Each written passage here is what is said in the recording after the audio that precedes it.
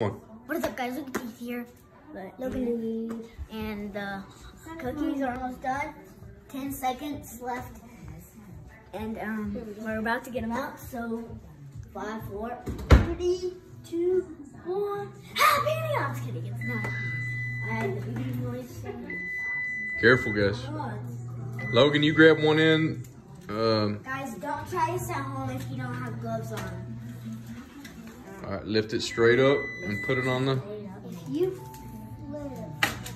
don't try this at. Don't if you touch it, have all gloves on. If you, you only you need, alright, you need gloves. You, you need gloves to Woo! get them Look at feel this. I mean, it's, I it's it. snowing. Oh, It's snowing. It's snowing. I mean, it's kind of appropriate.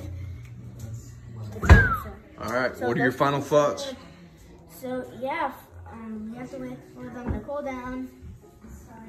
And um, yeah, so them down. They have to cool down. So like, no, Logan, we can both have cookies. So um, uh, the cookies um um you have to wait for them to them down. Ta take about like four or five minutes to do, and probably you'll be able to eat them, and they'll be really good to eat, and you know you will really enjoy them. I hope you guys did enjoy part one, part two, and part three of the cookie dough tutorial. And I'll see you guys in the next video. Peace out.